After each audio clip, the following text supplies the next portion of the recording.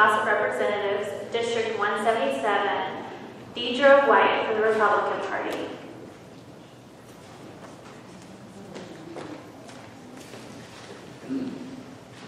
Hello. Good evening, everyone. Thank you for having me. For those of you who are at the first meeting I spoke at, you will be pleased to know I brought my own timer. And I brought notes that I can actually see.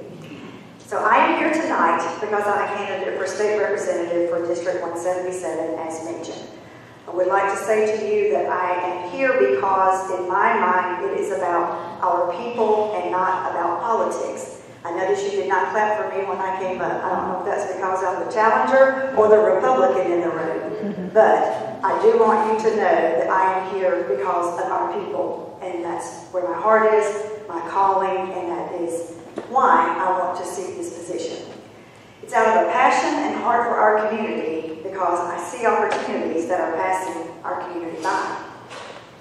You know, it's not enough to be liked.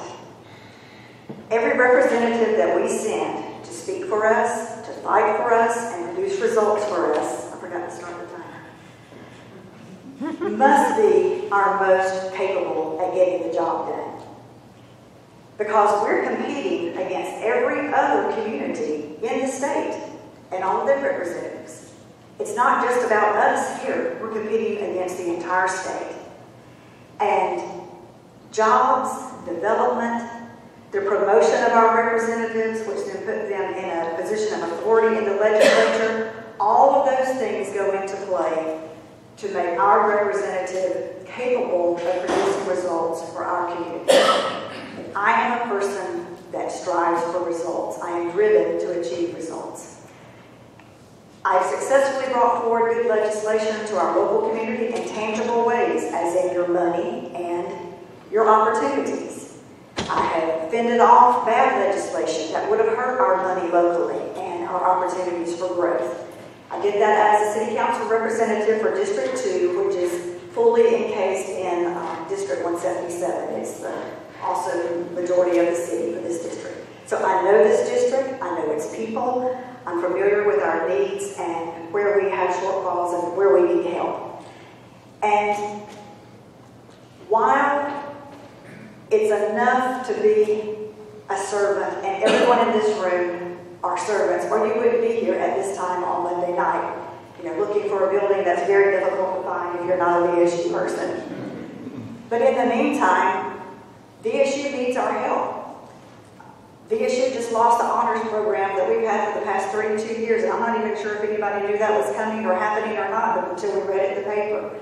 But we need representatives, everyone. We can't afford for one single person that holds a seat for this community to not be in the position to be effective. So I'm going to jump to that with, I have the support and endorsement of the governor of this state.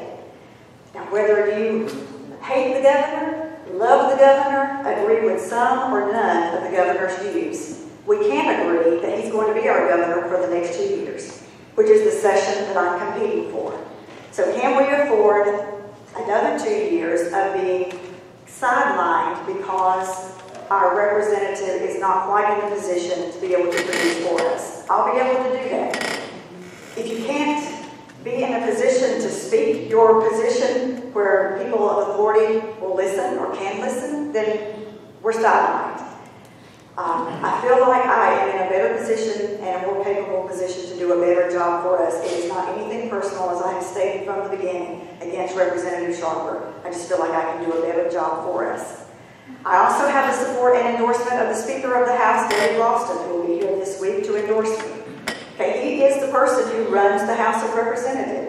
So everything that goes on in that House is at his hand. And he has fully committed to me and will be here to say so himself that I have his support and endorsement, and he will help me in any way he can to, for me to be able to help our community.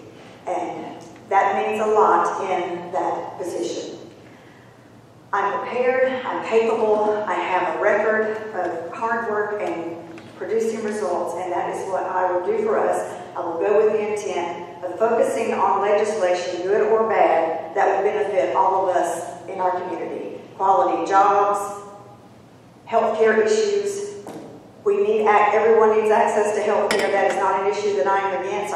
I've been on the record to say that. But finding the way to get your other partners to agree to that, that was going to take work, and it's going to take someone who they will at least listen to. And I can do that for us. I appreciate your at least indulging me. I appreciate your support. I am asking for your vote because I'm telling you, look, I'm ahead of time. Telling you, I will do a better job for us. It's, um, I appreciate everything that Representative Sharper has done. I don't think there's anyone that has been more of a servant in his community. But when you're playing on a field of some kind or in a game of some kind, you play your best player for the play that you need run. And right now, we need a player that is in a better position to run that ball across the line for us, and I can do that for us. So thank you for your time. Enjoy your night, and I appreciate your support.